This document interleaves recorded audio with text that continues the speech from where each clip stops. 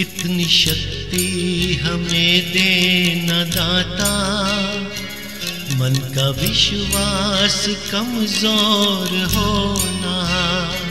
इतनी शक्ति हमें देना दाता। मन का विश्वास कमज़ोर होना। हम चले नेक रस्ते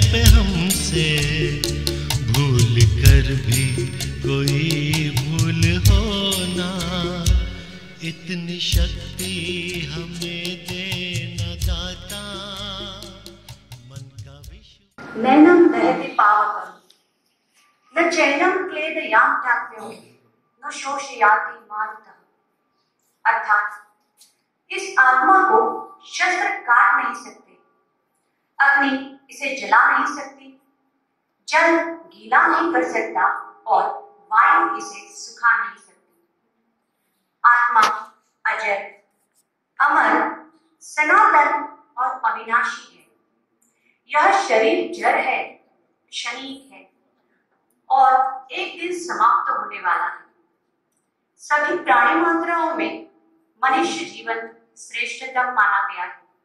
और इसीलिए जीवन का मूल्य हमारे लिए अगणित एवं कल्पना के परे है। अजय आत्मा और जड़ शरीर के बिछड़ने को ही मृत्यु कहा जाता है। मृत्यु तो जीवन का रहस्य है। मृत्यु तो अंतिम सत्य है। इसे ना तो कोई छिप सकता है, ना ही भाग सकता है। जीवन और मृत्यु दोनों एक ही तथ्य के दो पहलू हैं। आज पंचवीस फेब्रुवारी चार वर्षापूर्वी याच दिवशी कालदेवाची बाकडी नजर आमच्या नांदुरा शहरावर पडली आणि आमचे सर्वांचे प्रेरणास्रोत मार्गदर्शक आणि आधारस्तंभ असलेले प्रेमचंद्र झांबड सरांना या कालपुरुषाने आमच्यापासून हिरावून नेले. आम्हा सर्वांच्या डोक्यावरील शत्रुजनू हरवलं. स्वर्गीय श्री प्रेमचंदी झांबड सर या संस्थेचे आधारस्तंभ.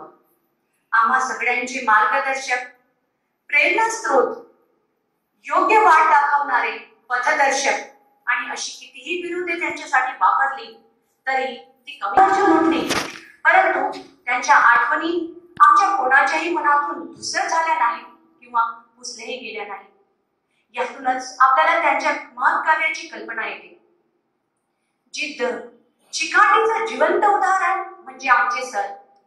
कार्यतत्पर व्यक्ती ज्यांचा आदर्श घेऊन आपण सगळे आपले जीवनही असेच कुशलतेने जगू शकू असा ठेवा. सरांनी नेहमी चांगल्या लोकांना चांगल्या कार्याला आणि चांगल्या विचारांना प्रोत्साहन दिले. सर नेहमी म्हणायचे की शिक्षक म्हणून तुम्ही स्वतःमध्ये जेवढा सकारात्मक बदल घडून आणाल त्याचा उपयोग संस्थेला इथल्या विद्यार्थ्यांना आणि त्याही पेक्षा तुम्हाला स्वतःला अधिक जास्त होईल. खरंच सर सरांसारखी दूरदृष्टी जोगी होती. सरांसारखी दृष्टी नाही परंतु दृष्टिकोन जरी जोपासला तरी आपण सगळेच आपल्या कार्यात यशस्वी होऊ यात काही शंकाच नाही. मी जेव्हा या संस्थेत रुजू झाले तेव्हा अगदी शून्य होते. माझ्यासारखीच गत आणखी इतर माझ्या सहकार्यांचीही होतीच परंतु एखाद्या मूर्तिकाराने एखाद्या पाषाणावर दगड घाव घालून त्यातून एखादी सुंदर रेखीव मूर्ती बनवावी तसेच मार्गदर्शनाचे सतत घाव घालून आमच्यावर सरांनी आमच्यावरून सरांनी एक अनुभवी आणि सोशिक असा शिक्षक निर्माण केला. आज आम्ही प्रत्येक आव्हानाला समर्थपणे तोंड देण्यासाठी तयार आहोत.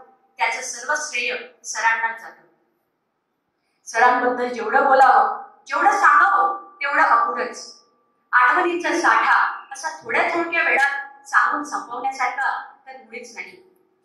इथे सरांबद्दल मला आवर्जून म्हणावं असं वाटते की सर कोट्यवधी वर्षांनी एखादा सूर्य निर्माण होतो.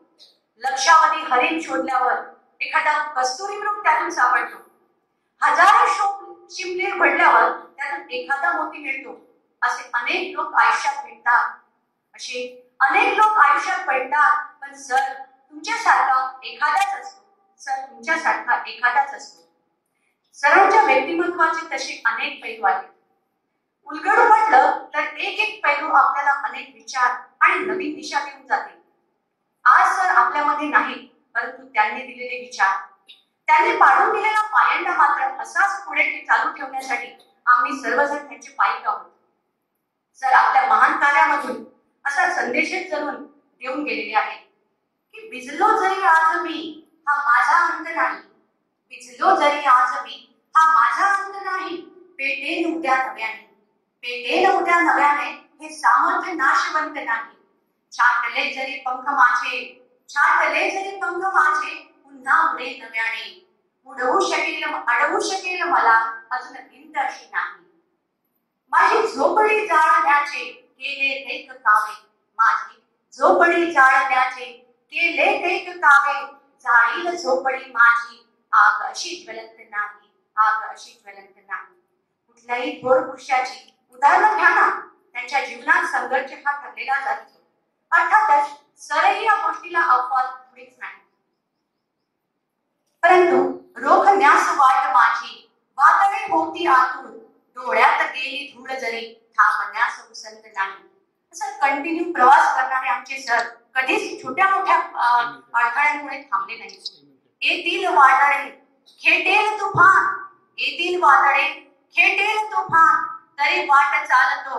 अडथळ्यांना घेऊन अडथळणे पावलांना पसंत नाही. पावलांना पसंत अशी स्वतःची वेगळी ओळख निर्माण करून आम्हा सगळ्यांना जीवन जगण्याची एक नवी उमेद देऊन स्वतः मात्र काळाच्या पडद्यावर गेले. अशा त्यांच्या पावन स्मृतीला शतशा नमन एकदा एकटेपणा हा अभिशाप समजण्यापेक्षा विचार प्रवृत्तीला पुढील काळी सरांनी एकला चालवे हे ब्रीदवाक्य जीवनाचं ध्येय बनवून सामोरे बाहेर जाऊन समाजासाठी काहीतरी करण्याचा जणू चंगच बांधला होता. त्यामुळेच नांदेडसारख्या ठाणे शहरात एवढी प्रशस्त वास्तू उभी राहू शकते मैं मैं अकेला क्या कर सकता हूं? असं म्हणून त्यांनी कधीच हार मानली नाही. आणि तुमच्या ह्या कार्यात तुमच्या सहचारिणी तुमच्या अर्धांगिनी आदरणीय मीना मॅडमनी साथ चोख बजावली म्हणून मात्र नक्कीच सर मी तरह कर्तव्य पथ पर सदैव तत्पर रहने वाली हमारी सबकी चेहरी आदरणीय मीना मैम जिन्होंने अपने पति के बनाए मार्ग पर पदक्रमण कर उनकी सभी जिम्मेदारियों को अपने कंधों पर उठाकर उनको सक्षमता के साथ निभा रही है। प्रेम इस vision is now my mission कहकर उन्होंने सर के अधूरे सपनों को निरंतर पूरा करने का प्रयास कर रही है और आगे भी करते रहेंगे और इस आपके प्रयास में ना आपका ये परिवार हमेशा आपके साथ रहेगा। इस दुनिया में सबसे बड़ा योद्धा तो माँ होती है। बड़े से बड़ा दुख, बड़े से बड़े दुख से लड़ना तो कोई माँ से सीखे। मीना मैम आप एक ऐसा ही जीवंत उदाहरण प्रस्तुत करती है। एक माँ की भांति आपने आप हम सभी को अपने ममत्व से उपकृत किया है। व्यक्तिगत हानि की परवाह न करते हुए सभी छात्रों के उज्जवल भविष्य हेतु आप निरंतर कार्य तत्पर रही आपके इस व्यक्तित्व को देखकर मुझे भी अपने स्त्री होने पर गर्व महसूस होता है। आपके हौसलों को देखकर लगता है। खोल पंख मेरे कहता है परिंदा। खोल पंख मेरे कहता है परिंदा, अभी और उड़ान बाकी है। ज़मीन नहीं है मंजिल मेरी। ज़मीन नहीं है मंजिल मेरी, अभी पूरा आसमान बाकी है। मैम, आप इसी भांति हमारे मार्गदर्शक बनी रहे, एवं भविष्य में होने वाले परिवर्तन हेतु हमें सजग करती रहे, यही हम सभी आपसे अभिलाषा करते हैं। बच्चे तो माता पिता का प्रतिबिंब होते हैं। जिनके माता पिता प्रेम सर और मीना नाम जैसे कुशल एवं संस्कारक्षम हो, उनकी संतानों के बारे में भला क्या कहना? सजग माता पिता का हर कर्तव्य निभाकर अपने बच्चों पर शिक्षा एवं संस्कार का सिंचन किया और उनको हर परिस्थिति का सामना करने योग्य बनाया। और इसी के साथ आज हमारा परिवार इन दो बच्चों पे सीमित न रहते हुए परिवार में आए एक नए सदस्य को ना परिवार को पूर्णता दी बल्कि हमारा हमारा भी धैर्य बढ़ाए आज सर जहाँ भी होंगे, बहुत ही प्रसन्न होंगे। चिराग जी एवं उनके परिवार में, परिवार आज हमारे साथ लाइव जुड़े हैं। ऐसा ही आपका साथ सदैव बना रहे, यही कामना है। Shri Vardhaman Jain educational and research multipurpose foundation यह एक सिर्फ़ संस्था नहीं, बल्कि हमारा एक परिवार है। इस संस्था में हर व्यक्ति की यादें जिनके साथ जुड़ी है, वही सबके आदर्श श्री प्रेमचंद जी झांबर सर सबकी याद बनकर रह गए। जिन्होंने हमें एक परिवार की तरह रहना सिखाया सुख दुख बांटना सिखाया, आज उनका हम सबके बीच ना होना बहुत ही दुख की बात है। स्वर्गीय श्री प्रेमचंद जी झांपर सर के चतुर्थ स्मरण के अवसर पर सर की प्रतिमा को पुण्य, पुष्प अर्पण करने एवं श्रद्धांजलि अर्पित करने हेतु मैं हमारी आदरणीय मीना मैम, संस्था संस्था के प्राचार्य, आत्मा मंत्री मैम, विद्यालय के प्राचार्य जागरूक जी वाघमारे सर और आज के हमारे प्रमुख वक्ता दिनेश जी वक्ते सर, इनको सस्नेह आमंत्रित करना चाहती हूँ। ॐ साज्यं च वर्ति संयुक्तं तन्निनायोदितं मया दीपं ग्रहाण देवी सा त्रैलोक्यं तिविरापहम् भक्त्या दीपं प्रयच्छामि देवाय परमात्मने त्राहि मां विनयघोरा दीपज्योते नमोऽस्तु ते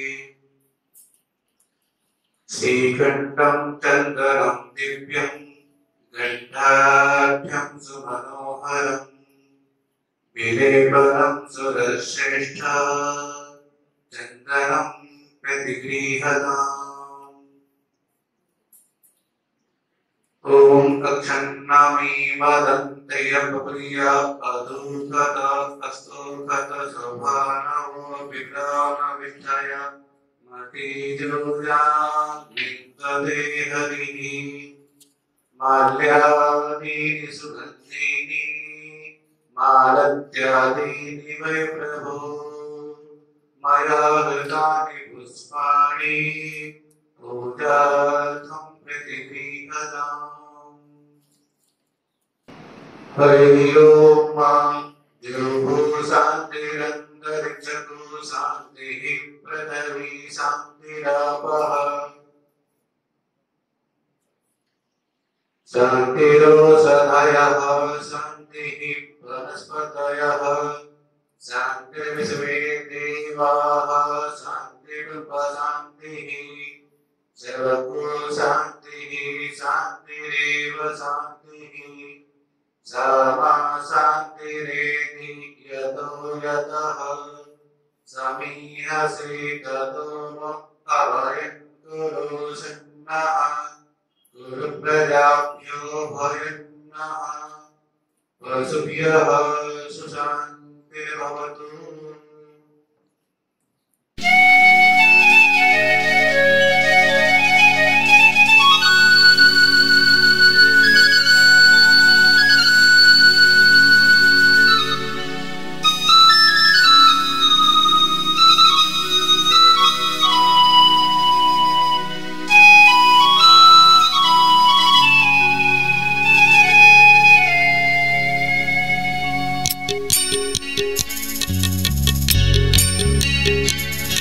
इतनी शक्ति हमें देना दाता।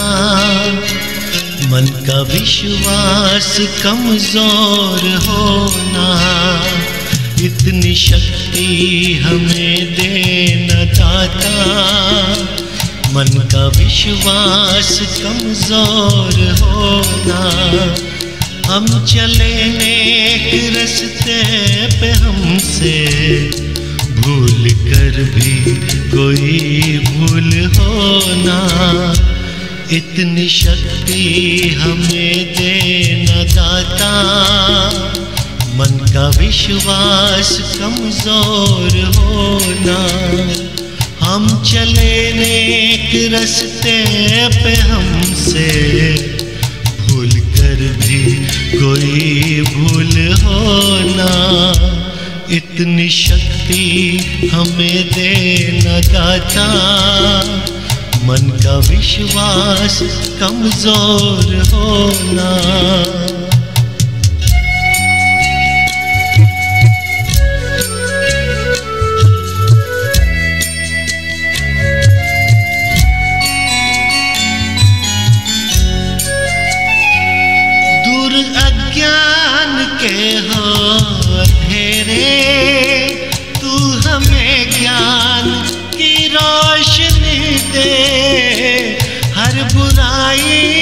बचते रहे हम, जितनी भी दे भली ज़िंदगी दे।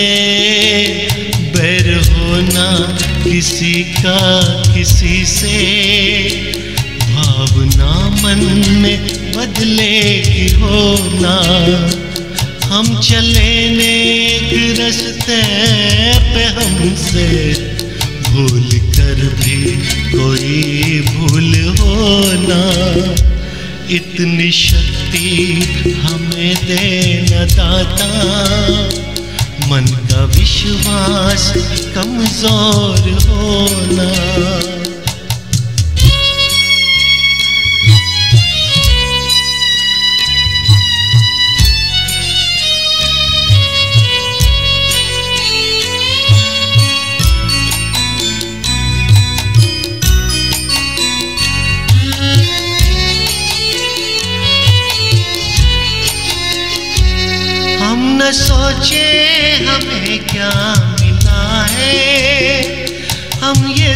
सोचे कि या क्या है अनपन? फूल खुशियों के बांटे सभी को। सबका जीवन ही बन जाए मधुवन अपनी करुणा का जल तो बहा के कर दे पावन हर एक मन का कोना। हम चले नेक रस्ते पे हमसे। भूल कर भी कोई भूल होना इतनी शक्ति हमें देना दाता। मन का विश्वास कमज़ोर होना इतनी शक्ति हमें देना दाता। मन का विश्वास कमजोर होना।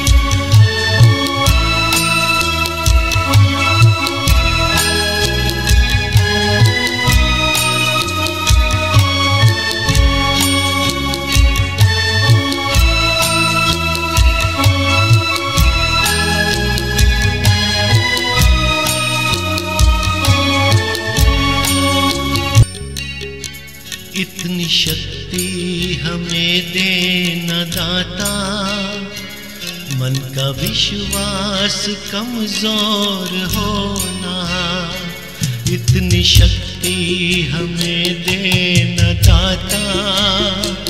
मन का विश्वास कमज़ोर होना, हम चले नेक रस्ते पे हमसे, भूल कर भी कोई भूल होना। इतनी शक्ति हमें देना विश्वास कमज़ोर होना। हम चले नेक रस्ते पे हमसे। भूल कर भी कोई भूल होना। इतनी शक्ति हमें देना दाता मन का विश्वास कमज़ोर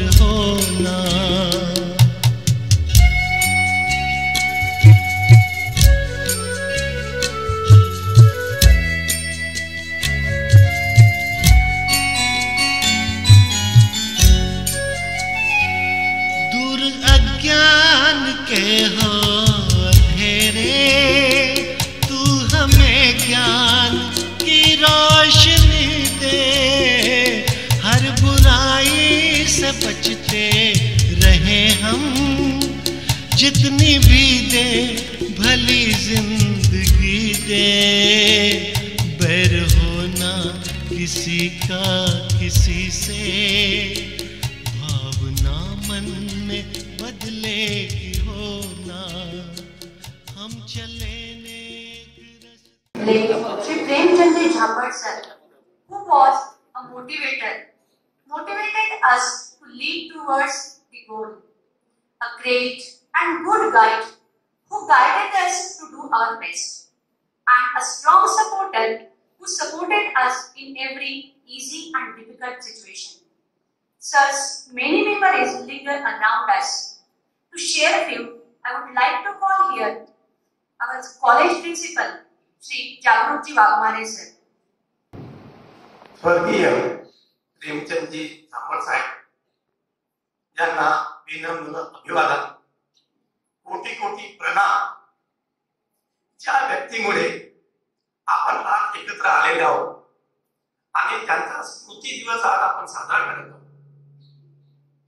स्मृती दिवस म्हणजे त्यांच्या ज्या स्मृती आहे त्यांच्या ज्या आठवणी आहेत त्या आठवणींना उजाळा देणे.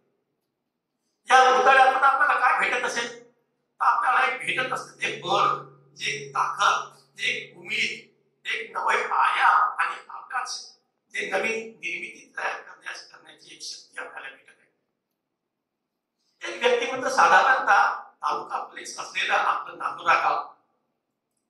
या नांदुरा गावामध्ये आदरणीय माननीय आमचे प्रेमचंदजी झामळ साहेब त्याचा मुख्य व्यवसाय हा सोन्या चांदीचा. सोन्या चांदीच्या दागिने घडवणे ह्या त्यांचा मुख्य व्यवसाय? ही त्यांची कला.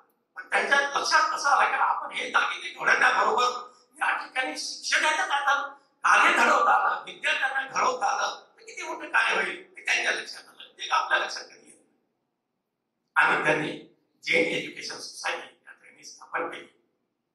झामर की या त्यांनी स्थापन केलं. लहान मुलांना शिक्षणाची सोय उपलब्ध करून दिली. त्याचबरोबर आपलं विद्यानिकेतन हे स्कूल त्यांनी स्थापन केलं. आणि या ठिकाणी इथल्या विद्यार्थ्यांना खेळातल्या विद्यार्थ्यांना इंग्रजी विषयातून शिक्षणाची सोय उपलब्ध करून दिली कारण माहीत आहे का आपण आपल्या गावाच्या बाहेर ज्यावेळी जातो त्याला इंग्रजी शिक्षणाशिवाय आपल्याला कोणताही पर्याय नाही ते इथेच थांबले नाही तर या गावातला या परिसरातला विद्यार्थी यांना सुसंस्कृत झाला पाहिजे यांना विज्ञानाची जोड मिळाली पाहिजे म्हणून त्यांनी झांबळ सिनियर कॉलेज याची स्थापना केली दोन हजार नऊ मध्ये आणि या कॉलेजमधून अनेकशे विद्यार्थी चांगल्या डिग्री घेऊन पास झाले आणि चांगल्या ठिकाणी आज नोकरी करत आहे हे एक मानाची बाजू आहे. त्यांच्या कार्याला उदाहरण देत असताना आपल्याला एक गोष्ट महत्वाची जाणवत असते की त्यांचं उत्कृष्ट आणि कुशल व्यवस्थापन. आपण ज्यावेळेस हे बिल्डिंग पाहत असतो तुम्ही बिल्डिंगची आत्मनिरीक्षण करा. बिल्डिंगच्या प्रत्येक पायरीचं निरीक्षण करा प्रत्येकच्या भिंतीचं निरीक्षण करा. किती सुसज्ज असं बांधकाम केलेलं आहे. प्रत्येक पायऱ्यावरती त्याने स्लोगन लावलेले आहे. त्याने केमिस्ट्रीचा पिरियडिक टेबल लावलेला आहे. जे आम्ही कधीतरी अभ्यास केला पण आम्ही विसरलो होतो. त्याची आम्हाला आठवण होते. त्याचे एटॉमिक नंबर त्याचे मास युनिट नंबर त्या ठिकाणी लावलेले आहे. एवढंच काय? पण मॅथमॅटिकचे फॉर्म्युले जे बारावीचे फॉर्म्युले हे प्लस बी स्क्वेअर त्याचा फॉर्म्युला काय? त्याच्या फायद्यावर लावलेले आम्ही जे विसरलो ते आम्हाला त्यांच्या स्मृतीमधून दिसत इतकं मोठं कौशल्य आज या माणसानं या गावासाठी दिलेलं आहे. आणि या गावाचा जेव्हा काही इतिहास लिहिला जाईल त्यामध्ये आमच्या नांदुऱ्याच्या थांबड किंवा आमच्या प्रेमचंद भाईजींचं नाव आदरानं आणि एका मनास मनाने घेतल्याशिवाय ते राहणार नाही. आणि एवढ्या मोठ्या स्मृतीस मी या ठिकाणी पुन्हा एकदा विनम्र अभिवादन करून मी माझे दोन शब्द सम- संपवतो. धन्यवाद. थँक्यू.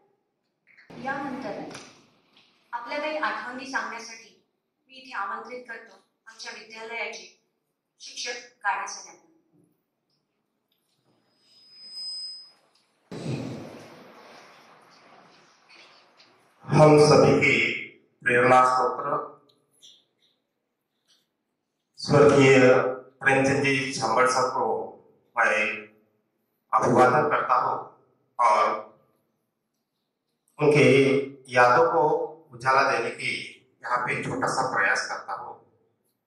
25 फरवरी 2018 का ये दिन हम सब के लिए एक मनहूस घड़ी लेकर आया और जिस प्रकार से सूरज की रोशनी को छुपाया नहीं जा सकता, फूलों की महक को भुलाया नहीं जा सकता, उसी प्रकार के साथ प्रेमचंद सर के यादों को कभी मिटाया नहीं जा सकता। ऐसे हम सभी के स्वर्गीय प्रेमचंद जी हीरो से भी बेहतर थे। उनको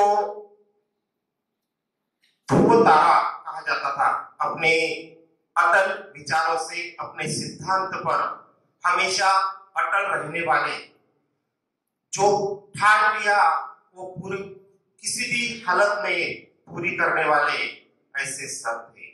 शिक्षक और संस्कार छात्रों के लिए होना बहुत ज़रूरी है। इसके साथ ये शिक्षा वृक्ष वृक्ष यहाँ पर उन्होंने बनाया। इसका पूरा श्रेय उनको ही जाता है।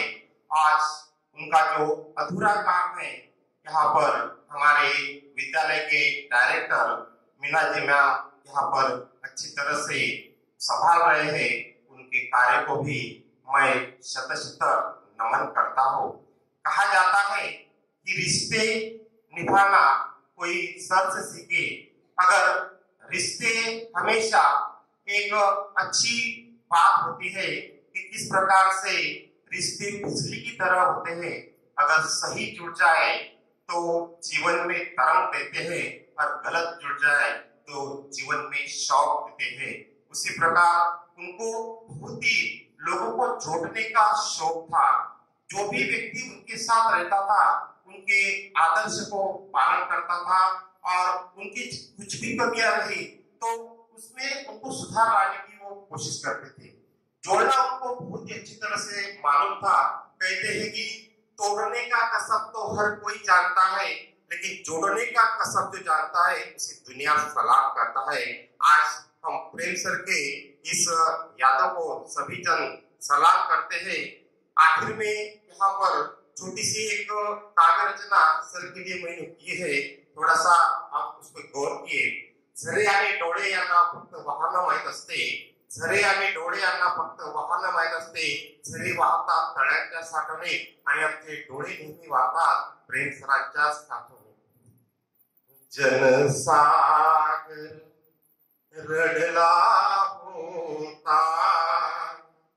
जनसागर रडला होता. आकाशही रडले होते.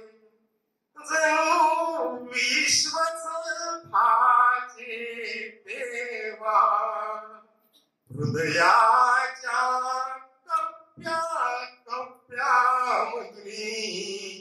आवाज एक येत होता निर्वाण दिनाची ती संध्या. निर्वाण दिनाची ती संध्या नातुरा नगरी ही व्यापून होती. अलंकारच्या सोपाटीवरती ही अवकळा ही पसरली होती. ही अवकळा ही पसरली होती. पाशा झाले हृदय जनसागर रडला होता जनसागर रडला होता धन्यवाद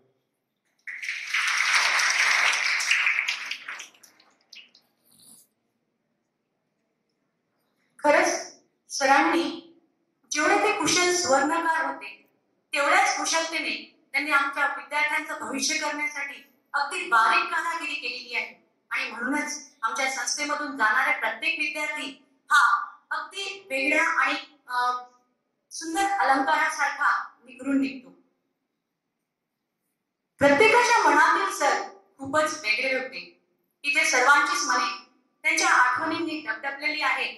पण प्रत्येक जण इथे येऊन बोलत नसले तरी तुमच्या प्रत्येकाच्या चेहऱ्यावरचे सरांबद्दल असणारं प्रेम आणि आदर अगदी स्पष्ट दिसत आहे.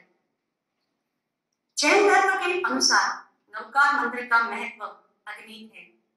आत्मा की शांति और मोक्ष प्राप्ति हेतु इसका जाप किया जाता है. हमारे सर की आत्मा की शांति हेतु नवघात मंत्र का जाप करने हमारे विद्यालय की शिक्षिकाएँ यहाँ मंच पर उपस्थित हो रही है।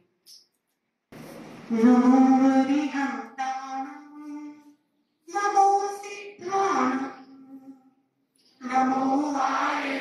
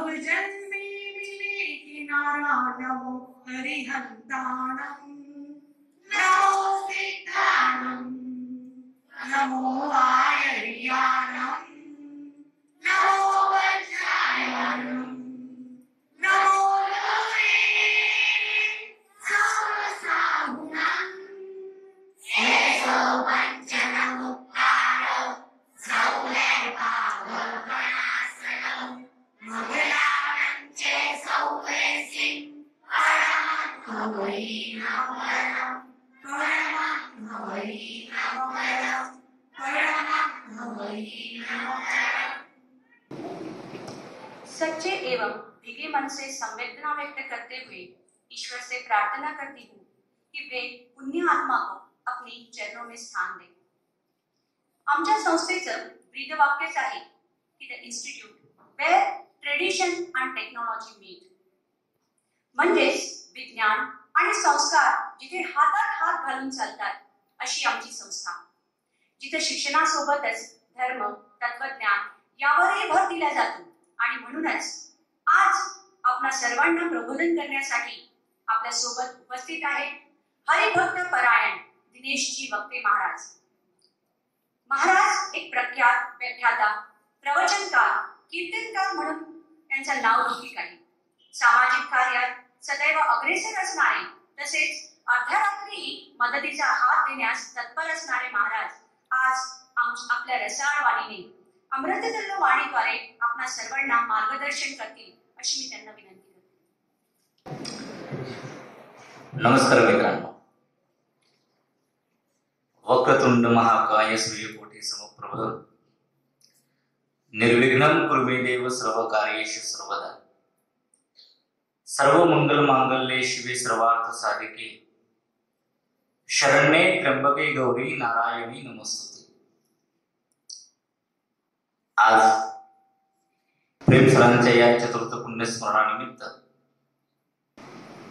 दहा पंधरा मिनिट बोलण्याची संधी मला या शिक्षण संस्थेने दिली त्याबद्दल मी तुम्ही तुम्हा सर्वांचा पहिल्यांदा आभारी आहे. मला गाडे सरांनी कॉल केला आणि सरांनी मला विचारलं म्हटले महाराज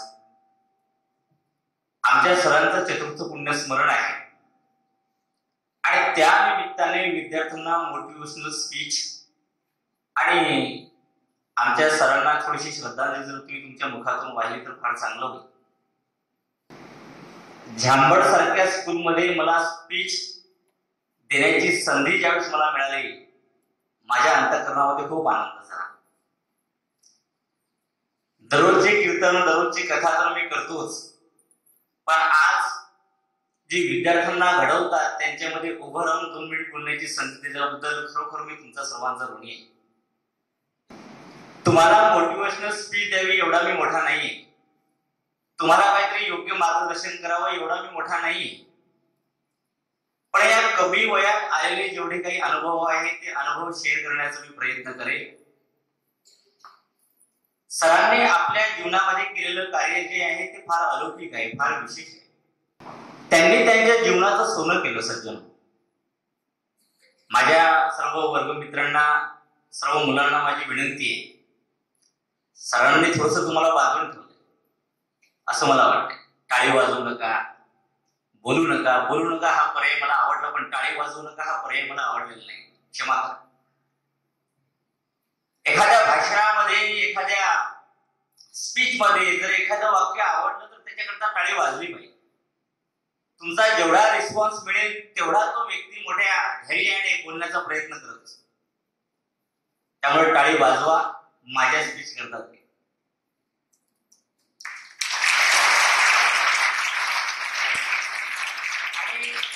टाळी वाजवण्याचे काही महत्त्वाचे फायदे आहेत. टाळी वाजल्यानंतर हे हात ज्यावेळेस एकमेकावर आदळतात त्यावेळेस रक्तसंचार फार चांगला मोठ्या मोठ्या सायंटिस्ट मोठ्या मोठ्या वैज्ञानिकांनी हा शोधला होता. की ज्यावेळेस टाळी हे एकमेकावर हात आदळतात त्यावेळेस हार्ट अटॅक येण्याची जी संभावना आहे ती फार कमी आहे. आणि रक्तसंचार चांगला हो. म्हणून टाळी वाजली पाहिजे. कुठेही नका वाजवू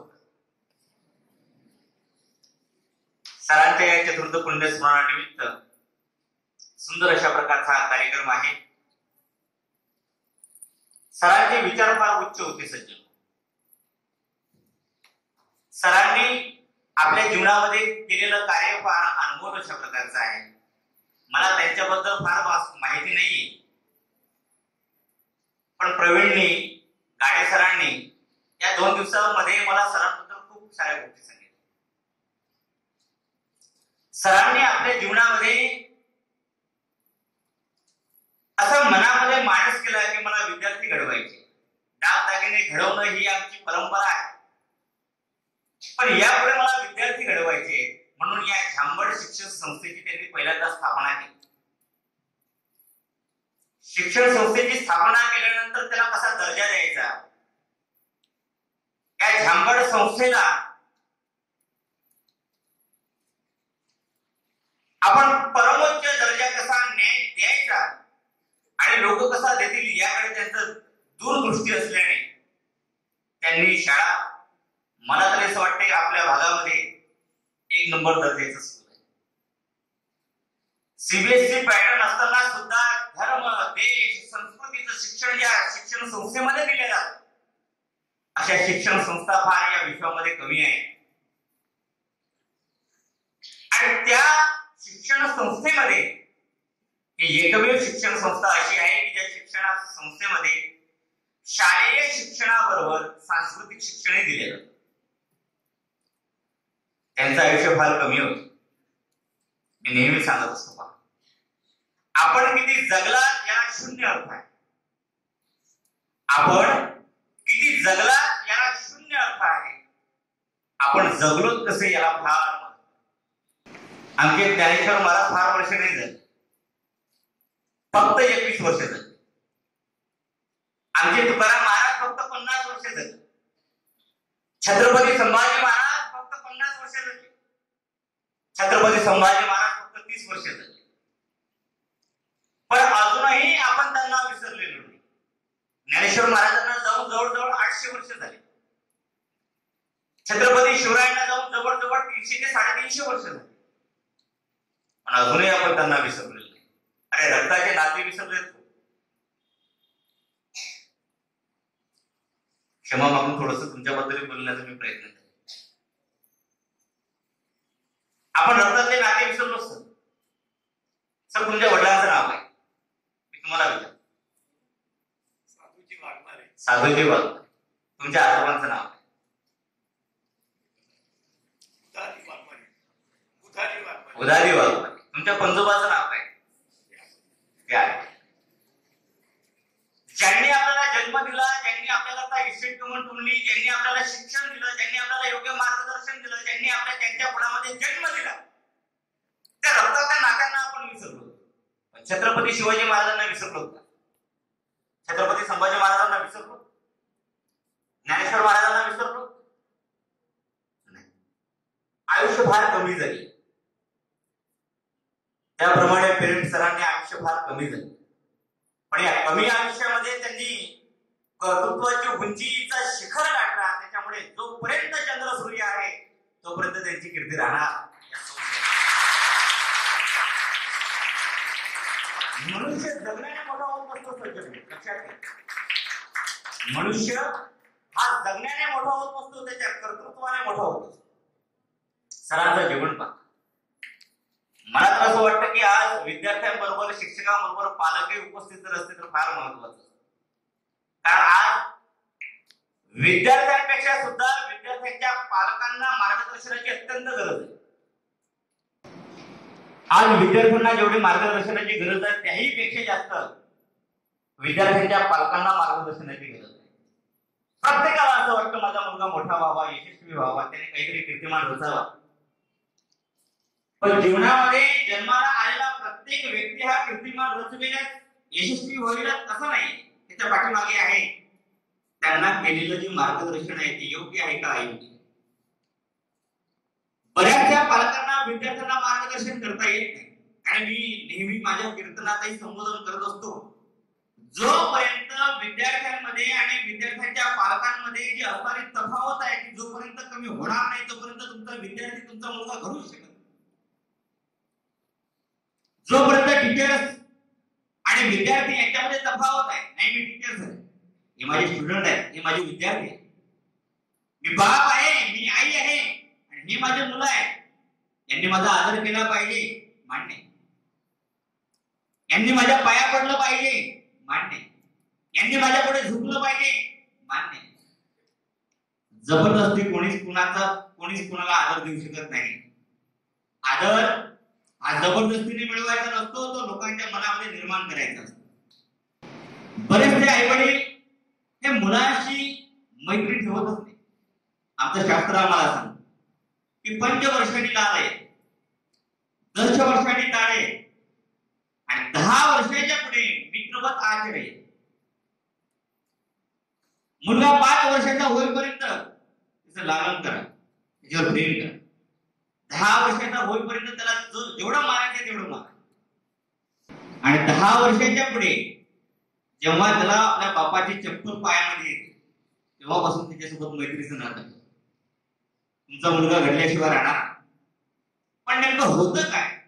मुलांच्या जीवनामध्ये असणारे प्रॉब्लेम मुलांना असणाऱ्या काही अडचणी ते स्कूलमधले असलो अथवा वैयक्तिक जीवनामध्ये असलो या सगळ्या अडचणी तो विद्यार्थी तो मुलगा पालकांना शेअरच करू शकत नाही का? आपण जर आपली अडचण आपल्या स्कूलमधली अडचण आपल्या वैयक्तिक जीवनामधली अडचण जर पालकांच्या समोर शेअर केली तर कदाचित आपले वडील आपल्याला मार्गदर्शन न करता एखादी जर कानाखाली वाजवली तर काय? आपला अपमान करते किंवा बरेचसे असे विद्यार्थी आहेत की ते विद्यार्थी आपल्या असणाऱ्या अडचणी आपल्याला जर एखादा विषय समजला नाही तर तो विषय सम- सरांच्या समोर मांडण्याचा ते हिंमतच करत नाही बऱ्याचशा टीचर्स आणि बऱ्याचशा मॅडमांची काही काही रेप्युटेशन अशी असते. अरे अमके मॅडम आल्या. पेट्रोल झाल्या अमके अमके सर आले. बिलकुल बोलायचं मान्य आहे मला. सगळ्या गोष्टी शिक्षकांमध्ये आणि विद्यार्थ्यांमध्ये असणं गरजेचं आहे. पण त्याचबरोबर जोपर्यंत विद्यार्थ्यांमध्ये आणि शिक्षकांमध्ये मैत्री होणार नाही तोपर्यंत तोपर्यंत तुमचा विद्यार्थी घडू शकत ज्या सरांनी झांबड शाळेचं उद्घाटन केलं स्थापना केली सरांचे जीवन तुम्ही बघा डिसिप्लिन अनुशासन ह्या त्यांच्या जीवनाचा मंत्र होता. ते त्यांनी शिकवलं हे त्यांनी त्यांच्या जीवनात उतरवलंय पण त्याचबरोबर या शा- शिक्षण संस्थेमध्ये असणारे टीचर्स असो मॅडम असो अथवा एखादा झाडू लावणारा कोणतरी कर्मचारी असो त्या प्रत्येकाच्या अंतकरणामध्ये त्यांनी जागा केली याचं कारण काय? डिसिप्लिन बरोबर त्यांच्यासोबत असणारी त्यांची मैत्री. कधीच तुला असं वाटलं नाही की आपले सर म्हणजे आपले शिक्षण संस्थेचे संस्थापक आहे. म्हणून सर आले सर आले सर आले घाबरले पाहिजे नाही. सर आले म्हणून सर आले याचा आनंद प्रत्येकाच्या मनामध्ये झाला पाहिजे. मॅडम आले स्कूलमध्ये मुलं घाबरले नाही पाहिजे मुलांना आदर वाटला पाहिजे. अरे मॅडम आले. हे नातं जोपर्यंत तुम्ही मैत्रीचं मुलाबरोबर विद्यार्थ्यांबरोबर घडवाल नाही तोपर्यंत तुमचे विद्यार्थी घडू शकत नाही. या संस्थेमध्ये या झांबड संस्थेमध्ये आतापर्यंत हजारो विद्यार्थी शिकले. हजारो विद्यार्थी वर्तमान शिकत आहेत लाखो विद्यार्थी भविष्यातही शिकले पण या शिक्षण संस्थेचं नाव जोपर्यंत चंद्र सूर्य आहे तोपर्यंत राहावं असं वाटत असेल तर काय करता विद्यार्थ्यांची मैत्री करायला शिका विद्यार्थी घडत असतो तो आपल्या कर्तृत्वात. विद्यार्थी घडत असतो तो त्यांच्या आई वडिलांच्या आणि त्यांच्या टीचरच्या मार्गदर्शनात. बरेचसे विद्यार्थी म्हणतात सर आम्ही नाही शिकू शकतो मोठे झालं. आपल्या पोरांना मार्गदर्शन करतात. अरे पोरांनो तुमच्या वयात असताना आम्ही एवढं शिकलो एवढा अभ्यास केला. तुम्ही काही करत नाही. अरे तुमच्या विद्यार्थ्यांनी अभ्यास करावा तुमच्या मुलांनी अभ्यास करावा असं तुम्हाला वाटत असेल तर त्याकरता तुम्हाला आता सुद्धा वर्तमान अभ्यास करावा लागेल. जोपर्यंत आपले पालक आपल्या विद्यार्थ्यांबरोबर एखादं पुस्तक वाचत नाही तोपर्यंत तुमचा मुलगाही तुमच्यासोबत कधी पुस्तक वाचणार नाही. आमचे आजोबा नेहमी सांगायचे त्यांचे शब्द फार गावड नसायचे त्यांचा मनावर फार परिणाम व्हायचा. तुम्ही त्यांना ओळखता की नाही मला माहिती नाही ओके बाबा. ते गावरान शब्दामध्ये फार उत्तम मार्गदर्शन करायचे ते म्हणायचे बरेचसे पालक आपल्या विद्यार्थ्यांना म्हणतात आपल्या मुलांना म्हणतात अरे पोरांना अभ्यास करा तुमच्या वयामध्ये असताना आम्ही फार अभ्यास केला. मग आता का तुला रोग झाला? अरे आता कर आता जर तू अभ्यास केला तर तुझं पाहून तुझी मुलं सुद्धा अभ्यास करतील आणि कोण्याही वयामध्ये वाचलेलं पुस्तक हे व्यर्थ जात नाही. ते आतापर्यंत लहानपणापासून आपण शिकतच आलो. म्हणून अभ्यास करताना आपल्या मुलांनी अभ्यास करावा असं वाटत असेल तर काय करतात? तुम्ही सुद्धा त्यांच्याबरोबर त्या पद्धतीने राहा. बरेचसे लोक म्हणतात बरेचसे विद्यार्थी मोठे झाल्यानंतर म्हणतात आमची परिस्थिती नव्हती म्हणून आम्ही शिकलो नाही. बोलतात. करोना लक्षात घ्या. बरेचसे या संस्थेमध्ये असणारे काही विद्यार्थी असे आहेत की ते केजी वन केजी टू ला किंवा नर्सरीला स्कूलमध्ये ऍडमिशन करतात नंतर पहिले फर्स्ट स्टँडर्डला गेल्यानंतर सेकंड स्टँडर्डला गेल्यानंतर ते या स्कूलमध्ये ऍडमिशन करू शकत नाहीत कारण त्यांची घरची परिस्थिती ती नाही बरोबर आहे? मग ते मोठे झाल्यानंतर बनतील. अरे आमची घरची परिस्थिती नव्हती म्हणून आम्ही शिकलो नाही. नाहीतर आमच्या स्कूलमध्ये असणारे जे मुलं आहेत माझे फ्रेंड सर्कल जे आहे आज कोणी डॉक्टर आहे कोणी इंजिनियर आहे कोणी सायंटिस्ट आहे ना? पण आमच्या घरची परिस्थिती नव्हती म्हणून आम्ही शिकलो नाही. हा सर्वात मोठा गैरसमज आहे. आपला अज्ञान लपवून ठेवण्याचे सर्वात मोठे साधन आहे. माणसाच्या जीवनातली परिस्थिती ही माणसाला बदलूच शकत मोठे मोठे डॉक्टर मोठे मोठे सायंटिस्ट असं म्हणतात की जन्मतात जन्माला आलेलं जे नवजात शिशु आहे त्या ते आम्हाला तुम्ही समर्पण करा. तुम्ही ठरवा याला काय बनवायचे तुम्ही म्हणाल याला इंजिनियर बनवायचं मी इंजिनियर बनवून दाखवतो. तुम्ही म्हणा मी याला डॉक्टर बनवा मी याला डॉक्टर बनवून दाखवतो. तुम्ही म्हणा याला सायंटिस्ट बनवायचं याला सायंटिस्ट बनवून दाखवतो. तुम्ही म्हणा याला पायलट बनवायचं मी याला पायलट बनवून दाखवतो. भगवंतांनी बुद्धी दिली. जी बुद्धी दिली ती सर्वांना सारखी दिली. ज्यावेळेस मुलं जन्माला येतात त्यावेळेस त्यांची मेमरी पूर्ण रिकामी असते. त्याच्यामध्ये काहीच नसतं. पण त्या मेमरीमध्ये आपण नेमकं काय भरतो? याला फार म्हणतो सूर्यप्रकाश देताना कधीच हा विचार करत नाही की नांदुरेला मी जास्त प्रकाश देईन आणि खांबाला मी कमी प्रकाश देईन. कधीच नाही. सर्व समान सर्वांना सूर्यप्रकाश देत असतो. त्याप्रमाणे भगवान सुद्धा ज्यावेळेस जन्माला घालतो त्यावेळेस सर्वांना बुद्धी सारखी देतो मित्रांनो. असं नाही. बरेच विद्यार्थी म्हणतात माझ्या बदलता तो मुलगा अतिशय हुशार आहे. मी त्याच्यापेक्षा डर आहे. गैरसमज आहे तुझा. सर्वच विद्यार्थी अतिशय हुशार आहेत अतिशय बुद्धिमान आहेत पण कोण आपण आपल्या बुद्धीचा वापर करतो किती आणि कसा करतो याला फार महत्त्व मी तुम्हाला काही दोन तीन उदाहरण देतो फार लक्ष देऊन ऐका आंबेडकरांचं नाव ऐकलं पुराणा तुम्ही? आंबेडकरांची परिस्थिती काय? काय परिस्थिती होती? घरची परिस्थिती अत्यंत नाजूक होती. आंबेडकर एवढे बुद्धिमान होते एवढे बुद्धिमान होते की त्यांनी जर एकदा पुस्तक पुस्तक वाचलं तर जीवनामध्ये ते पुस्तक पुन्हा वाचण्याची त्यांना गरज पडत नव्हती. एकदा जर त्यांनी पुस्तक वाचलं तर पुस्तक वाचल्यानंतर दहा वर्षांनी त्यांना विचारा अमक्या पुस्तकामध्ये अमक्या पान नंबरवर तिसऱ्या नंबरची ओळख काय होती. ते सांगत होते एवढे बुद्धिमान. बरेचसे लोक म्हणतात की काय? आंबेडकरांची बुद्धी म्हणजे फार अलौकिक फार विशेष. असं नाही. आंबेडकरांना विचारलं तर एवढे तुम्ही बुद्धिमान कसे? की एकदा पुस्तक वाचल्यानंतर तुम्हाला पुन्हा पुस्तक वाचण्याची गरज पडत नाही. आंबेडकरांनी जे उत्तर दिलं ते फार गोड आहे. लक्ष देऊ नये का सर्वांनी आंबेडकर म्हणाले माझ्या घरची परिस्थिती एवढी हलाखीची होती. की शाळेमध्ये जाण्याकरता जे पुस्तक मला हवे होते ते पुस्तक मला प्राप्त करून द्यायची ऐपत सुद्धा माझ्या आईवडिलांची नव्हती. एवढी घरची नाजूक परिस्थिती. कशी तरी कष्ट करून बाबा पुस्तक विकत आणायचे किंवा मित्रांकडून आणायचे कोणातरी मागून आणायचे आणि मी तसा अभ्यास करायचो. आणि मी मनामध्ये त्यावेळेस हा विचार करायचो की हे पुस्तक पुन्हा मला वाचायला मिळेल की नाही याची गॅरंटी नाही. त्यामुळे वाचतानाच मी असं वाचेन. पुन्हा पुस्तक वाचण्याची मला गरज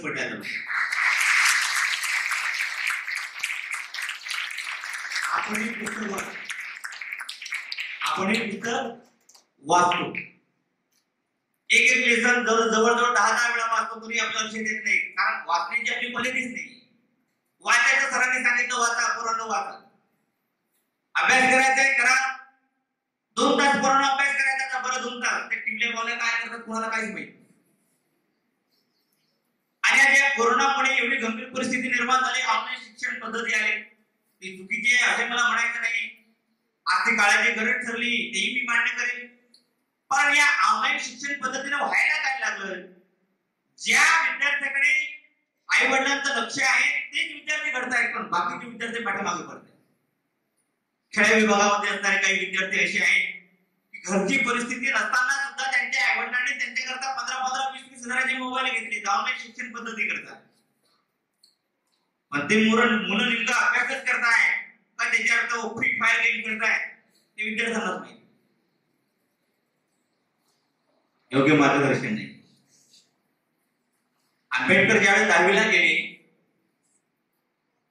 दहावीला गेल्यानंतर त्यांचे पेपर चालू होते. पेपर द्यायचे होते शहरामध्ये खेड्यामध्ये राहायचे. त्यांचे वडील रामनाथ त्यांच्यासोबत गेले. संपूर्ण जर कुटुंब सोबत नाही तर भाड्याने राहायचं आणि मोठ्या खोल्या कराव्या लागतील संपूर्ण कुटुंब न्यायचं म्हटल्यानंतर ती आपली परिस्थिती नाही. म्हणून स्वतः त्यांचे वडील आणि आंबेडकर दोघे जण परीक्षा देण्याकरता दहावीची परीक्षा देण्याकरता शहरी विभागामध्ये गेले. भाड्याने खोली तिथे राहायला लागले. आणि स्वतःच्या हाताने ते स्वयंपाक करायचे आणि आपल्या मुलाला जेवून द्यायचे. पहिल्या दिवस पेपर झाला आंबेडकर घरी आले. बापाने दाट पडलं मुलगा जेवायला बसला. दोन घास घेतले आंबेडकरांनी आणि विचारलं वडिलांना बाबा तुमचं जेवण? अरे बाळा जेवण घे. तू जेवण घे तुझं जेवण झाल्यानंतर मग मी जेवण करेन. बरोबर बरोबर. दुसऱ्या दिवशी पुन्हा पेपर दिला पुन्हा घरी आले पुन्हा ताट पडलं पुन्हा जेवायला बसली. जेवायला बसल्यानंतर पुन्हा आंबेडकरांनी बाबांना विचारलं बाबा तुमचं जेवण? बाळा तू जेवण करून घे तुझं जेवण झाल्यानंतर मग मी जेवण करेन. तिसऱ्या दिवशी पुन्हा पेपर देऊन घरी आले. पेपर देऊन घरी आल्यानंतर पुन्हा प्रश्न केला आंबेडकरांनी बाबा तुम्ही अरे बाळा तू जेवण करून घे. तुझं जेवण झाल्यानंतर मग मी जेवण करेन. पण तिसऱ्या दिवशी ज्यावेळी आंबेडकरांनी जेवण झाल्यानंतर दुर्डीमध्ये बघितलं तर त्याच्यामध्ये भाकरी नव्हती. आंबेडकर म्हणायला लागले बाबा दररोज मी तुम्हाला विचारतो पेपर झाल्यानंतर जेवायला बसल्यानंतर की तुम्ही माझ्या बरोबर जेवण का करत नाही? तुम्ही नेहमी मला सांगताय की बाळा तुझं जेवण झाल्यानंतर मी जेवण करतो. पण आज माझ्या लक्षात आलं की माझं जेवण झाल्यानंतर त्या जोडीमध्ये भाकरी शिल्लक राहत नाही. तर तुम्ही जेवण काय करता? रामनाथजीने जे उत्तर दिलं ना ते फार गोड आहे. रामनाथजी म्हणायला लागले अरे बाळा या भाकरीने या चपातीने या भाताने माझी भूक भागणार नाही. ज्या दिवशी तू मोठा बशील मोठा झाल्यानंतर कॉलर टाईट करून मान वर करून ज्यावेळेस मी तुझ्याकडे बघेन त्या दिवशी माझी खरी भूक शांत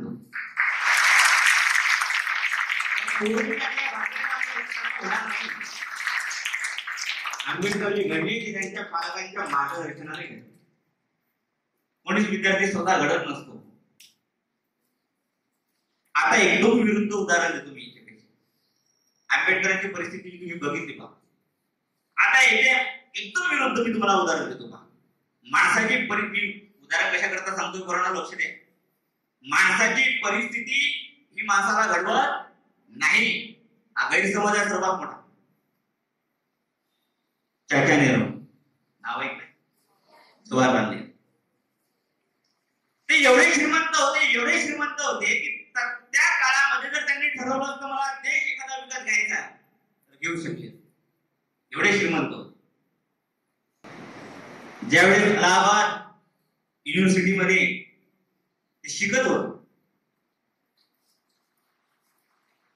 अलाहाबाद महाविद्यालयामध्ये ज्यावेळेस ते शिकत होते तर त्यांना सोडवण्याकरता एक स्पेशल त्यांची फोर व्हीलर होती. त्या गाडीचं नाव मला आता नेमकं आठवत नाही. त्या काळात सर्वात महागडी गाडी ती गाडी नेहरूंना सोडवला यायची. पहा आश्चर्य पहा काय होतं. आपल्यामध्ये सुद्धा काही विद्यार्थी असे असतील की ज्यांना सोडवण्याकरता फोर व्हीलर येते स्कूलमध्ये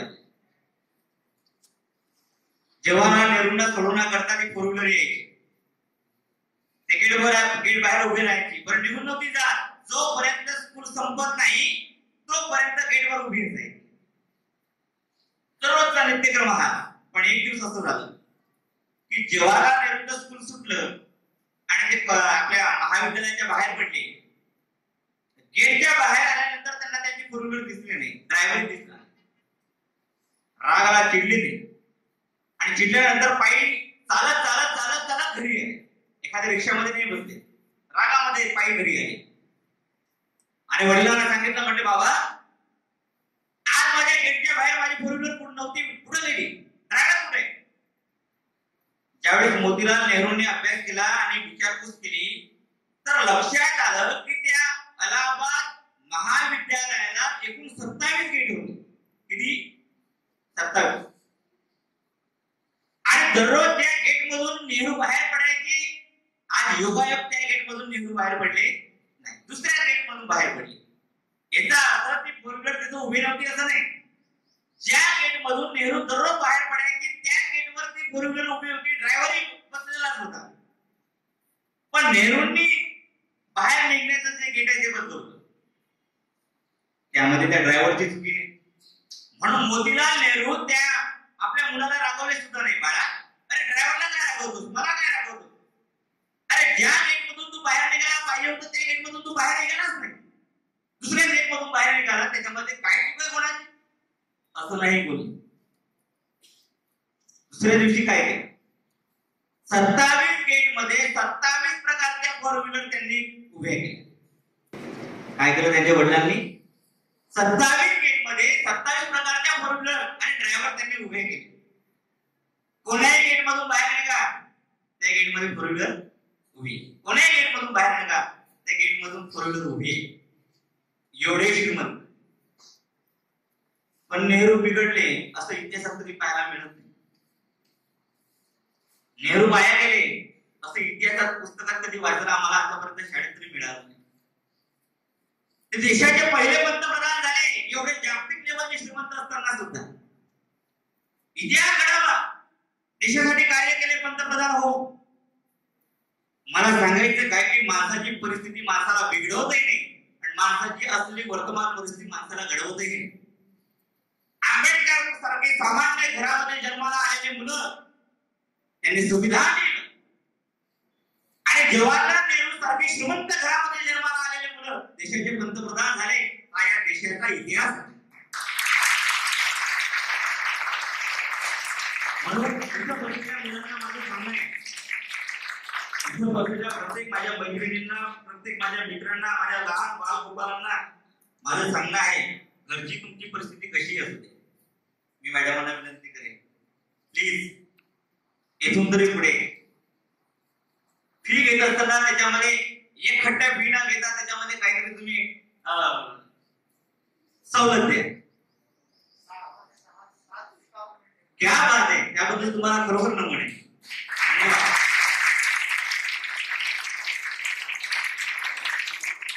कारण बऱ्याचशा पालकांची हिंमत होत नाही कधी कधी तुम्हाला खोटं वाटेल मॅडम माझीच परिस्थिती सांग. मलाही माझा विद्यार्थी माझा मुलगा या स्कूलमध्ये टाकण्याची अपेक्षा आहे. फीचं नाव ऐकून माझ्या अंगाला पाठवून देतात. पण याचा अर्थ फीज महाग आहे याचा अर्थ त्याच्यामध्ये क्वालिटी कमी असेल नाही क्वालिटी आहे. तुम्ही फीज कमी घेऊ नका. बिलकुल कमी घेऊ नका. अजून आणखी वाढवा.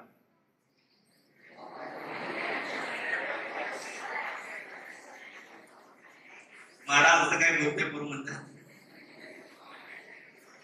फीज आणखी वाढला पण त्याच्यामध्ये थोडी सवलत मिळते जी आता वर्तमान देत. बरेचसे टीचर्स आपल्या मुलांना शिकवत असताना त्याच्यामध्ये हा कमी दर्जाचा आहे हा उच्च दर्जाचा आहे अशा प्रकारचा भेदभाव निर्माण करतात. क्षमा मागून बोलतो थोडस. पहा का क्लास भरलेला असताना बऱ्याचशा विद्यार्थ्यांना असा गैरसमज होतो की हा विद्यार्थी माझ्यापेक्षा हुशार आहे माझ्यापेक्षा बुद्धिमान आहे पण मग इथं बसलेल्या सर्व हो विद्यार्थ्यांना माझं एक सांगणं आहे बघा.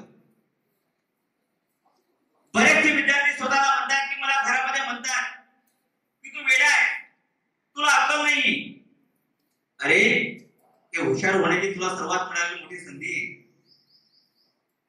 बरेचसे विद्यार्थी म्हणतात की मला टीचर्स लोक माझे मित्रमंडळी मला सर्व अडाणी समजतात.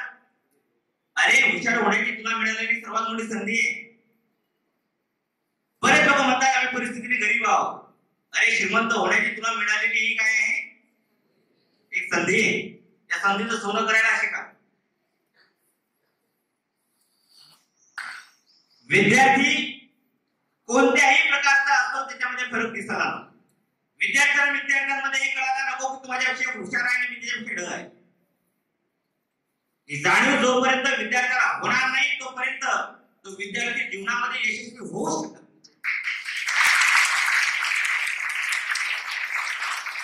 तुम्हाला गैरसमज आहे की तुम्हाला स्कूलमध्ये एखादा विषय समजत नाही. पहा, ऐका पोरांनो. तुम्हाला हा सर्वात मोठा गैरसमज आहे की तुम्हाला एखादा विषय कळत नाही समजत नाही. शाळेमध्ये एखादा ढळसला विद्यार्थी तो ढळत आहे असं. नाही त्याच्यामध्ये वेगळी काहीतरी क्वालिटी बरोबर ना? ती पालकांना आणि शिक्षकांना जर समजली तर तो विद्यार्थी घडतो नाही तर तो विद्यार्थी पाठीमागे पडतो. जोपर्यंत पालकांना आणि शिक्षकांना विद्यार्थ्यांची क्वालिटी कळत नाही तोपर्यंत तो विद्यार्थी घडत नाही. बऱ्याच विद्यार्थ्यांना आता शिक्षणाची पद्धतीशी झाली शिक्षण असं झालंय की ज्यांना मराठी येतं त्याला हिंदी येत नाही ज्याला हिंदी येतं त्याला संस्कृत येत नाही ज्याला संस्कृत येतं त्याला इंग्लिश येत नाही ज्याला इंग्लिश येतं त्याला मॅथ येत नाही ज्याला मॅथ येत त्याला सायन्स येत नाही ज्याला सायन्स येतं त्याला केमिस्ट्री येत नाही ज्याला केमिस्ट्री येतं त्याला बायो येत नाही ज्याला काहीच येत नाही तो शाळा काढल्या वाचून राहत नाही. बऱ्याचशा शाळा अशा अपवाद आहे बऱ्याचशा शाळा अशा अपवाद आहे की ते शिक्षण संस्था ज्यांनी स्थापन केली त्यालाच काही कळत नाही. तो तो विद्यार्थी काय करेल मला बोलणं कळतं ना तुम्हाला? आज वर्तमान परिस्थिती हीच आहे. ज्या कोणाला मॅथ त्याला सायन्स त्याला सायन्स त्याला केमिस्ट्री त्याला केमिस्ट्री त्याला बायो येते ज्याला बायो येते त्याला फिजिक्स येत नाही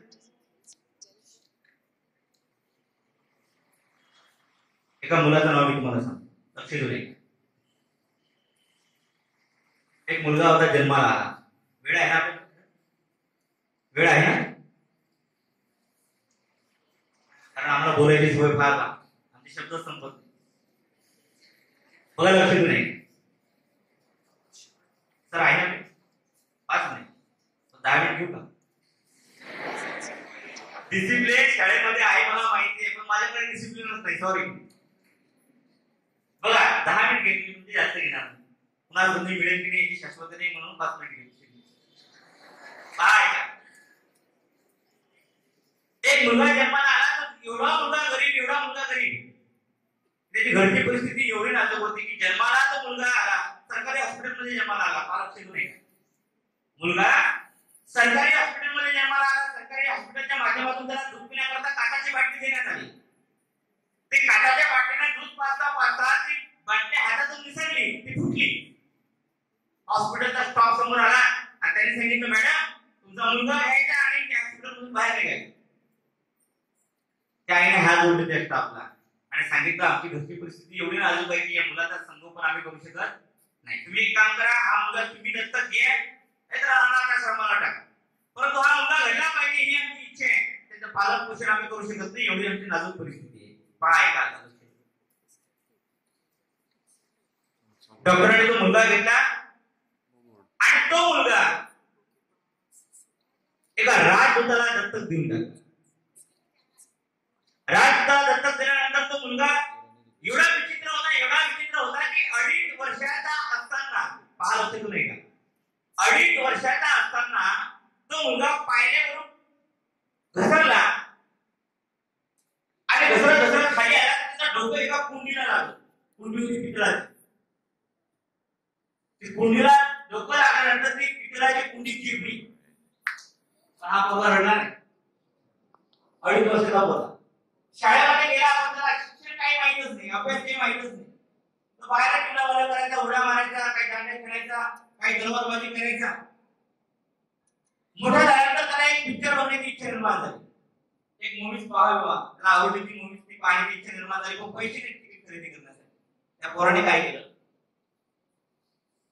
तर मुलगा एवढा हुशार होता की ते पिक्चर टाकीच्या समोर त्याने शीर्षासन घातलं.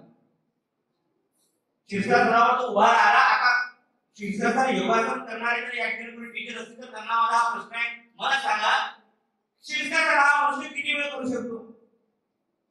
त्याचं पाच मिनिट दहा मिनिट पंधरा मिनिट वीस मिनिट खूप झाले. एक तास झाला दोन तास झाला तीन तास झाला गिरीश बुकमध्ये नोंद व्हावी यासाठी नाही. तर ते शीर्षासन पाहिल्यानंतर त्याच्यासमोर तुझं जमा झालं कोणी एक रुपया टाक कोणी दोन रुपये टाक कोणी तीन रुपये टाक. त्याचं लक्ष त्या ध्यान नाही नव्हतं. त्याचं लक्ष फक्त ते फीस होतं. ते पैसे होतं. आणि ज्या वेळेस तिकीट खरेदी करता एवढी रक्कम जमा झाली त्या शिक्षकांना उभा राहा. पैसे जमा केली आणि पैसे घेऊन पिक्चरचं तिकीट काढलं पिक्चर बघितला. अशी त्याची परिस्थिती. त्या माणसाने आपल्या जीवनामध्ये स्वतःची चित्रपट निर्मितीची संस्था निर्माण केली. आणि आपल्या त्याच्यामध्ये क्वालिटी वेगळी असते. वेगवेगळ्या प्रकारची क्वालिटी तुम्ही पिक्चर पाहता का पुरण पिक्चर पाहा. मूवीज पाहा. कोणते भटकन पिक्चर बघू नका. मूवीज बघू नका. पण जीवनामध्ये आयुष्यामध्ये एकदा थ्री इडियट पिक्चर मात्र नक्की पहा. नक्की पहा. मी माझ्या जीवनामध्ये अनेक चित्रपट बघितले पण थ्री इडियट मला जेवढा आवडला तेवढा चित्रपट मला जीवनामध्ये कोणताच आवडला नाही. आणि मी तरी नेहमी सांगतो की मी माझ्या जीवनामध्ये जवळजवळ पन्नास ते साठ वेळा तो पिक्चर बघितला. तुम्ही बघू. त्या पिक्चरमध्ये विद्यार्थ्यांना केलेलं मार्गदर्शन त्या पिक्चरमध्ये पालकांना केलेलं मार्गदर्शन आणि त्या चित्रपटामध्ये शिक्षकांना केलेलं ते मार्गदर्शन आहे ते फार उत्तम आहे. सर्व चित्रपट वाईट नाही पण काही चित्रपटामध्ये आपण घेतो काय हे फार महत्वाचं आहे. त्या चित्रपटामधून बऱ्याच विद्यार्थ्यांनी ही क्वालिटी घेतलीच नाही. पण चमत्कारावर चमत्कार चमत्कारावर चमत्कार एवढंच घेतलं म्हणून विद्यार्थी लेवल कमी समजू नका. पहा काही मुलं एवढं बुद्धिमान असतात सर. एका वाक्यात बोलतो. काही मुलं एवढं बुद्धिमान असतात. एक मुलगा एका वर्गामध्ये आठ वेळा नापास झाला. किती वेळा? आठ वेळा. आठव्या वर्गामध्ये आठ वेळा नापास झाल्यानंतर एक टीचर समोर आले त्यांनी पाहिलं म्हणते खरे बाळा आठव्या वर्गामध्ये आठ वेळा नापास झाला. तो तुला काही अक्कल तुझ्या वयामध्ये असताना ज्ञानेश्वर महाराजांनी ज्ञानेश्वरी लिहिली. तुझ्या वयामध्ये असताना ज्ञानेश्वर महाराजांनी काय लिहिली? ज्ञानेश्वरी लिहिली. आणि तू आठव्या वर्गात आठव्या नापास झालास मूर्खा. तो विद्यार्थ्याने जे उत्तर दिलं ते फार गोड आहे. विद्यार्थी फार हजार जबाब येतात पहा विद्यार्थ्याची क्वालिटी कशी बोलता तो विद्यार्थी म्हणायला लागला तर माझ्या वयामध्ये असताना ज्ञानेश्वर महाराजांनी ज्ञानेश्वरी लिहिली पण तुमच्या वयामध्ये असताना ज्ञानेश्वर महाराजांनी जिवंत समाधी लिहिली तुम्ही अजून इथं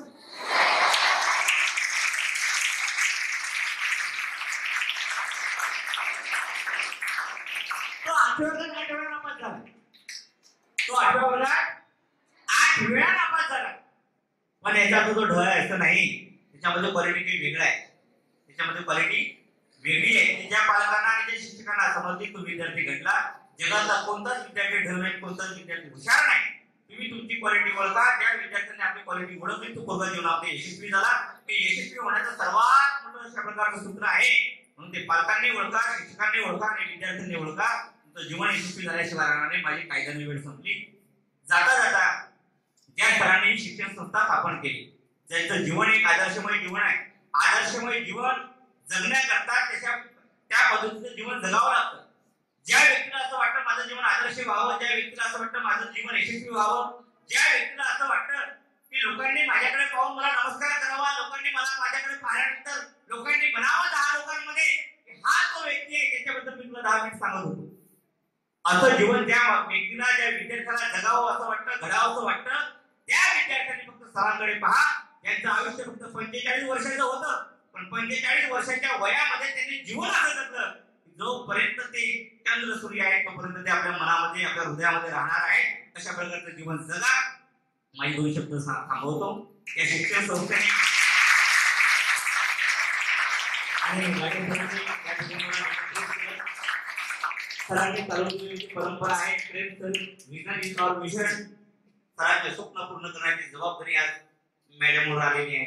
आणि मॅडम ती पूर्णत्वाने जबाबदारीने पाळतायत जबाबदारीने ते करतायत पुढे चालवतायत.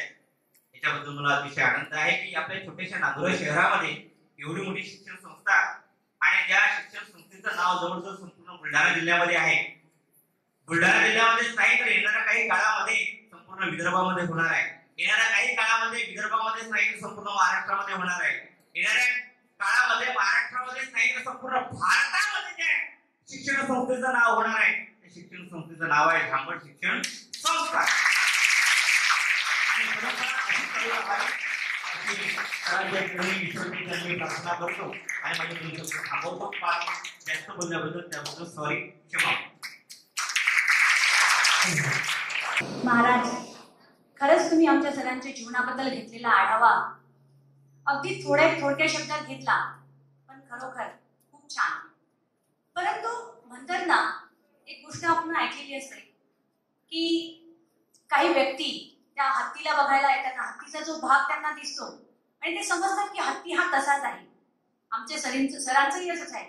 सरांचा जीवनाचा पैलू ज्या व्यक्तीला जसा समजला तो त्याला तसा घेतो. परंतु आमचे सर म्हणजे त्या सगळ्या प्रत्येक पैलूला मिळून बनलेलं संपूर्ण ते संपूर्ण गुण ज्याच्यामध्ये आहेत ते म्हणजे आमचे सर.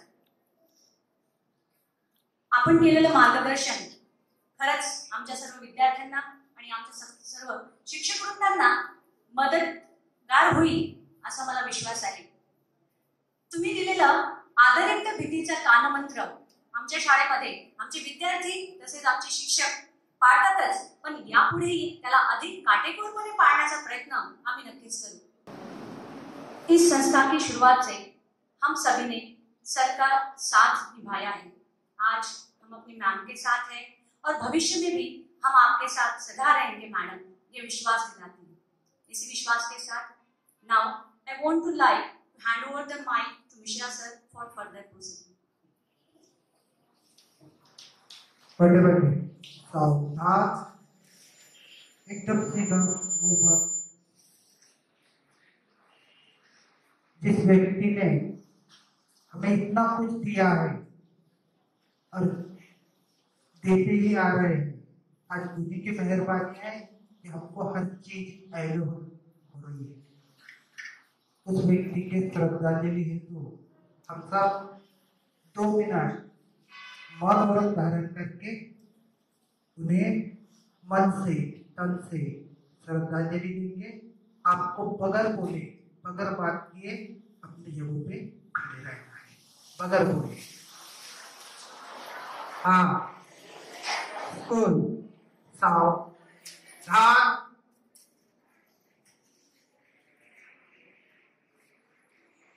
आखिरी। किलो। मत